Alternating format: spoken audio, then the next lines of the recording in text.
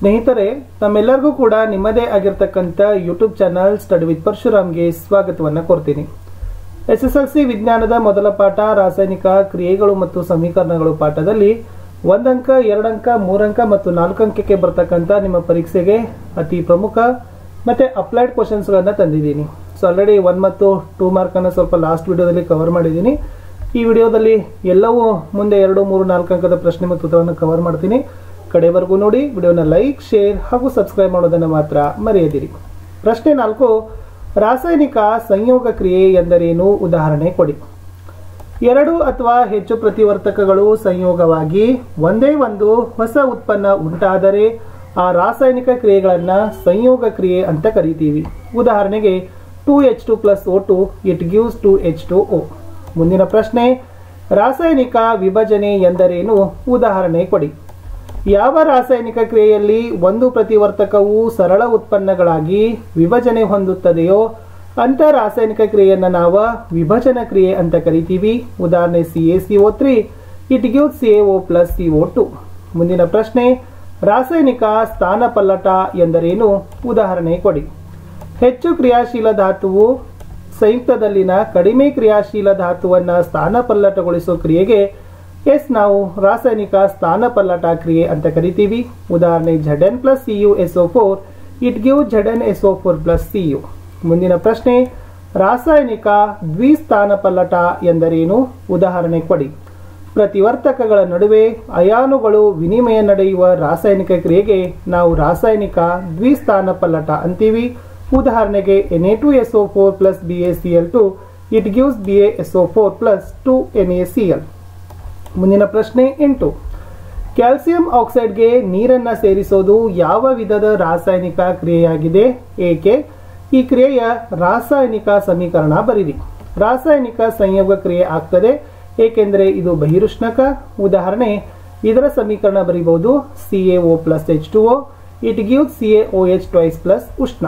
ಮುಂದಿನ ಪ್ರಶ್ನೆ, ಸೀಸದ ನೈಟ್ರೇಟ್ ಅನ್ನು ಕಾಯಿಸಿದಾಗ ಬಿಡುಗಡೆಯಾಗುವ ಕಂದು ಬಣ್ಣದ ಧೂಮ ಯಾವುದು?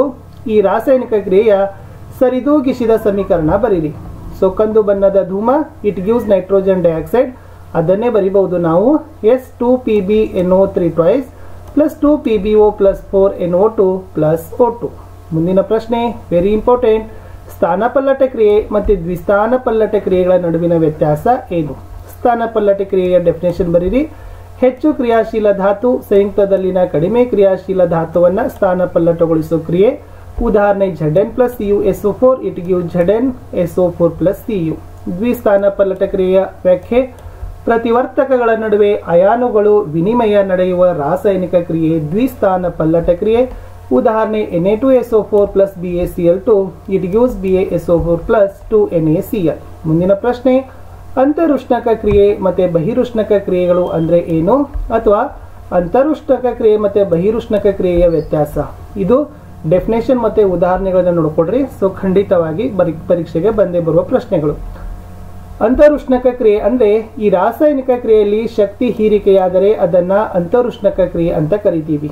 ಉದಾಹರಣೆಗೆ C A C O three it give C A O plus C O two ಇನ್ನು ಬಹಿರುಷ್ಣಕ ಕ್ರಿಯೆ ಅಂದ್ರೆ ಉತ್ಪನ್ನಗಳೊಂದಿಗೆ ಉಷ್ಣ ಬಿಡುಗಡೆಯಾಗುವ ರಾಸಾಯನಿಕ ಕ್ರಿಯೆ. ಉದಾಹರಣೆ C A O plus H two O it give C A O H twice plus ಉಷ್ಣ. ಮುಂದಿನ ಪ್ರಶ್ನೆ ವಿಭಜನ ಕ್ರಿಯೆಗಳು ಸಂಯೋಗ ಕ್ರಿಯೆಗಳಿಗೆ ವಿರುದ್ಧವಾಗಿದೆ ಅಂತಾರೆ ಏಕೆ? ಉದಾಹರಣೆ. ಏಕೆ ಅಂತ ಕೇಳಿದರೆ, ಉತ್ತರ, ಈ ವಿಭಜನ ಕ್ರಿಯೆಗಳಲ್ಲಿ ಒಂದು ಪ್ರತಿವರ್ತಕ ವಿಭಜನೆಗೊಂಡು ಎರಡು ಅಥವಾ ಹೆಚ್ಚು ಉತ್ಪನ್ನಗಳನ್ನು ಉಂಟಾದರೆ ಸಂಯೋಗ ಕ್ರಿಯೆಯಲ್ಲಿ ಎರಡು ಅಥವಾ ಹೆಚ್ಚು ಪ್ರತಿವರ್ತಕಗಳು ಸಂಯೋಗಗೊಂಡು ಒಂದೇ ಒಂದು ಹೊಸ ಉತ್ಪನ್ನ ಕೊಡ್ತವೆ. ಮುಂದಿನ ಪ್ರಶ್ನೆ ಪೇರೆ ಸಲ್ಫೇಟ್ನ ಹರಳುಗಳನ್ನು ಕಾಯಿಸೋದು ಯಾವ ರಾಸಾಯನಿಕ ಕ್ರಿಯೆಗೆ ಉದಾಹರಣೆ ಆಗಿದೆ? ಏಕೆ?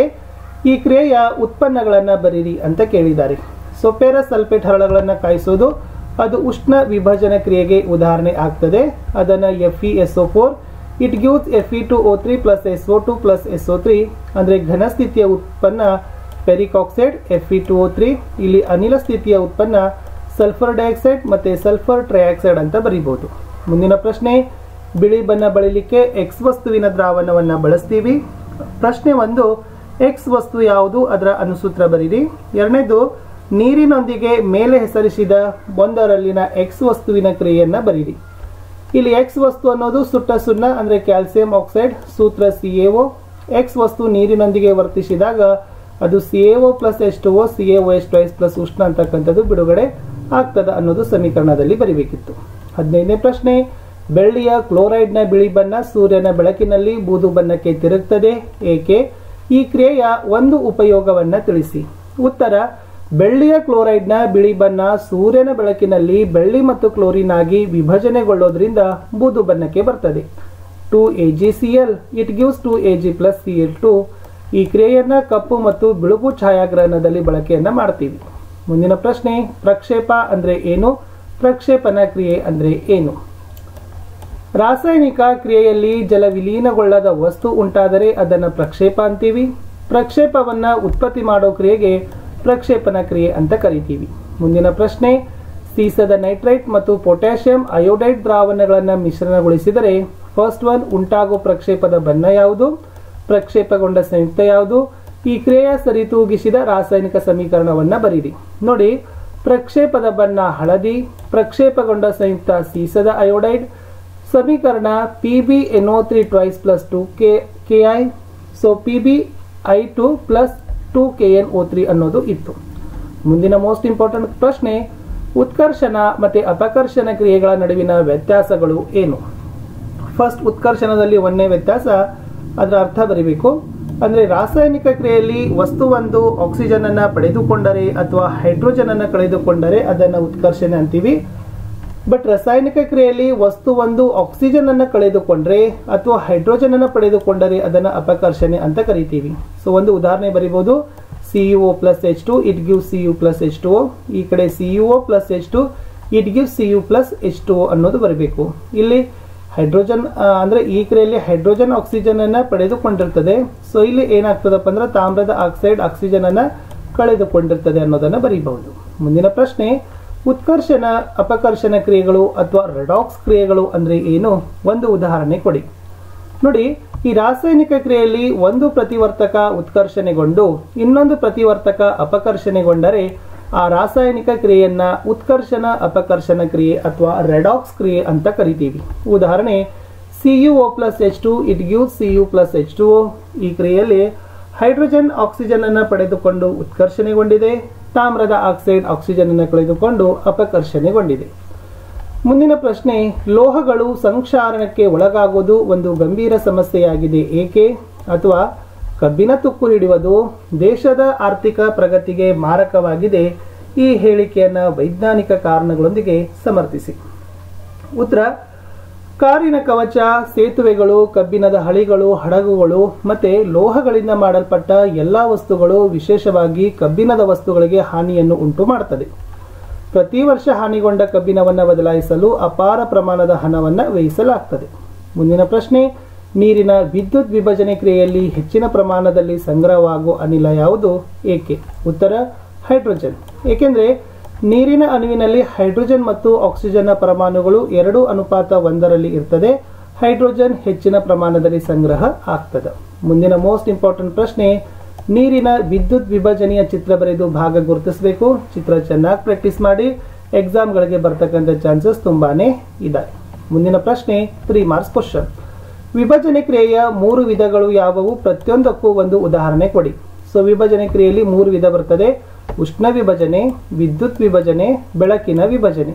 ಉಷ್ಣ ವಿಭಜನೆಗೆ ಉದಾಹರಣೆ C A plus C A C O three it give C A O plus C O two ವಿದ್ಯುತ್ ವಿಭಜನೆಗೆ two H two O plus two H two O it gives two H two plus O two ಬೆಳಕಿನ ವಿಭಜನೆ two A G C L it gives two A G plus C L two ಅನ್ನೋದು ಬರೀಬೇಕು. ಮುಂದಿನ ಪ್ರಶ್ನೆ ಎದಲ್ಲಿದೆ sodium sulphate ದ್ರಾವಣವನ್ನ barium chloride ದ್ರಾವಣದೊಂದಿಗೆ ಮಿಶ್ರಣಗೊಳಿಸಿದಾಗ ದೊರೆಯೋ ಬಿಳಿ ಬಣ್ಣದ ಪ್ರಕ್ಷೇಪ ಯಾವುದು? ನೆನಪಿಟ್ಕೊಡ್ರಿ ಅದು ಬೇರಿಯಂ ಸಲ್ಫೇಟ್ ಆಗದ. ಇನ್ನ, ಇದು ಯಾವ ವಿಧದ ರಾಸಾಯನಿಕ ಕ್ರಿಯೆ ಕೇಳಿದರೆ? ಇದು ರಾಸಾಯನಿಕ ದ್ವಿಸ್ಥಾನ ಪಲ್ಲಟ ಕ್ರಿಯೆ ಆಗ್ತದ. ಇದರ ಸಮೀಕರಣ ಬರೀರಿ ಕೇಳಿದರೆ N A two S O four plus B A C L two it gives B A S O four plus two N A C L ಅಂತ ಬರೀರಿ. ನೆಕ್ಸ್ಟ್ ಕ್ವಶನ್ ಕುಮುಟುವಿಕೆ ಅಂದ್ರೆ ಏನು? ಕುಮುಟುವಿಕೆಯನ್ನು ತಡೆಗಟ್ಟೋ ಎರಡು ವಿಧಾನಗಳನ್ನ ತಿಳಿಸಿ. ಉತ್ತರ ಕೊಬ್ಬು ಮತ್ತು ಎಣ್ಣೆ ಪದಾರ್ಥಗಳು ಉತ್ಕರ್ಷಣೆಗೊಂಡಾಗ ವಾಸನೆ ಮತ್ತು ಬಣ್ಣದಲ್ಲಿ ಬದಲಾವಣೆ ಆಗ್ತದೆ. ಇದನ್ನೇ ನಾವು ಕುಮುಟುವಿಕೆ ಅಂತ ಕರಿತೀವಿ. ಅಂದ್ರೆ ಕೊಬ್ಬು ಅಥವಾ ಎಣ್ಣೆಯನ್ನ ಹೊಂದಿರೋ ಆಹಾರ ಪದಾರ್ಥಗಳಿಗೆ ಪ್ರತಿ ಉತ್ಕರ್ಷಕಗಳನ್ನು ಸೇರಿಸಿ ಉತ್ಕರ್ಷಣವನ್ನು ತಡಿತೀವಿ. ಈ ಆಹಾರ ಪದಾರ್ಥಗಳನ್ನ ಗಾಳಿ ಪ್ರವೇಶಿಸದ ಸಂಗ್ರಾಹಕಗಳಲ್ಲಿ ಶೇಖರಿಸೋದು ಉತ್ಕರ್ಷಣವನ್ನ ನಿಧಾನಗೊಳಿಸಲು ಸಹಾಯ ಮಾಡುತ್ತದೆ ಮತ್ತೆ ಚಿಪ್ಸ್ನ ಪೊಟ್ಟಣದಲ್ಲಿ ನೈಟ್ರೋಜನ್ ಅನಿಲವನ್ನ ಹಾಯಿಸೋದರಿಂದ. ನೆಕ್ಸ್ಟ್ ಫೋರ್ ಮಾರ್ಕ್ಸ್ ಕ್ವಶನ್ ರಾಸಾಯನಿಕ ಕ್ರಿಯೆಗಳ ನಾಲ್ಕು ವಿಧಗಳನ್ನು ಹೆಸರಿಸಿ ಪ್ರತಿಯೊಂದಕ್ಕೂ ಒಂದು ಉದಾಹರಣೆ ಕೊಡಿ ಅಂತ ಕೇಳಿದ್ದಾರೆ. ಫಸ್ಟ್ ಒನ್ ರಾಸಾಯನಿಕ ಸಂಯೋಗ. ಉದಾಹರಣೆ two M G plus O two it gives two M G O next ರಾಸಾಯನಿಕ ವಿಭಜನೆ. Two N A plus two H two O it gives two N A H plus H two ರಾಸಾಯನಿಕ ಸ್ಥಾನಪಲ್ಲಟ C A C O three it gives C A O plus C O two ರಾಸಾಯನಿಕ ದ್ವಿಸ್ಥಾನ ಪಲ್ಲಟ. B A C L two plus H two S O four B S O four plus two H C L ಅಂತ ಬರೀರಿ. Last question F E two Al, three plus two A L it gives A L two O three plus two F E ಈ ಯಾವ ರಾಸಾಯನಿಕ ಕ್ರಿಯೆಗೆ ಸಂಬಂಧಿಸಿದಂತೆ ಕೆಳಗಿನ ಪ್ರಶ್ನೆಗಳಿಗೆ ಉತ್ತರ ಬರೀಬೇಕು? ಉತ್ಕರ್ಷಣೆಗೊಂಡಿರ್ತಕ್ಕಂಥ ವಸ್ತು ಎಲ್ ಇದೆ ಎಲ್ ಬರೀರಿ. ಅಪಕರ್ಷಣೆಗೊಂಡಿರ್ತಕ್ಕಂಥ ವಸ್ತು ಕೇಳಿದ್ದಾರೆ ಯಾವುದು? F E two O three ಬರ್ತದೆ. ಉತ್ಕರ್ಷಣಕಾರಿ ಕೇಳಿದ್ದಾರೆ ಸೊ ಯಾವುದು ಉತ್ಕರ್ಷಣಕಾರಿ? ಅದು F E two O three ಬರ್ತದೆ. ಅಪಕರ್ಷಣಕಾರಿ ಕೇಳಿದರೆ ಅದು ಎ ಎಲ್ ಅಂತಕ್ಕಂಥದ್ದು ಬರ್ತದೆ. ಇಷ್ಟು ಏನಾಗಿತ್ತಪ್ಪ ಅಂತಂದ್ರೆ ರಾಸಾಯನಿಕ ಕ್ರಿಯೆಗಳು ಮತ್ತು ಸಮೀಕರಣ ಕ್ರಿಯೆಗಳಲ್ಲಿರ್ತಕ್ಕಂಥ as two marks three marks ಮತ್ತೆ ಫೋರ್ ಮಾರ್ಕ್ಸ್ ಅನ್ನ ಕವರ್ ಮಾಡಿದ್ದೀನಿ. ಇಲ್ಲಿಗೆ ಒಂದು ಪಾಠ ಮುಗೀತು. ನೆಕ್ಸ್ಟ್ ಪಾಠದ ಕ್ವಶನ್ ಒಂದಿಗೆ ಸಿಗ್ತೀನಿ. Until take care bye